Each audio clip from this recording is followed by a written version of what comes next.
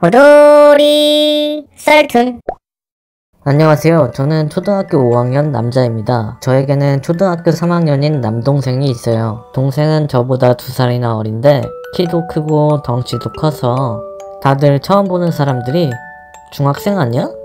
저게 초등학교 3학년이라고?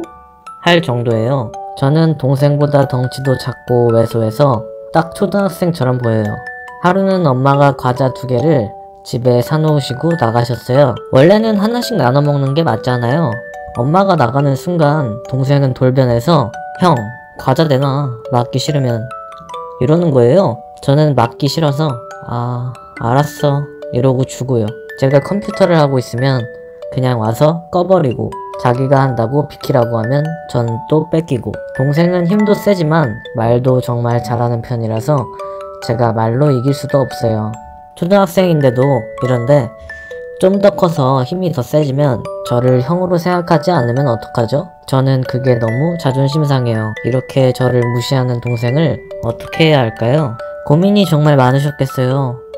동생과의 대화로 무시하지 말라고 하는 게 가장 좋은 해법인 것 같은데 동생이 말을 잘 들으려고 하지 않겠죠? 부모님의 도움을 받거나 하는 방법도 생각해 볼 수 있겠네요. 동생이랑 다시 좋은 사이로 돌아갔으면 좋겠어요. 제보다님, 진심으로 응원할게요.